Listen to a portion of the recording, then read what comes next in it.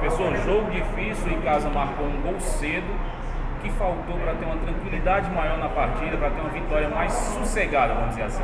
Meu amigo, depois de uma vitória dessa, primeiro lugar, certo?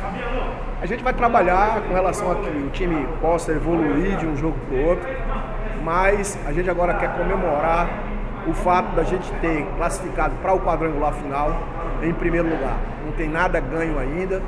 Nós sabemos que nós precisamos evoluir, crescer. Não fizemos um bom primeiro tempo, mas o segundo tempo o time foi bem e nós vamos continuar nessa batida aí em busca do acesso. E aí, comemorar tem tempo agora também, acertar alguns ajustes, não pode escolher adversário. O momento da definição chegou, né, Marcelo?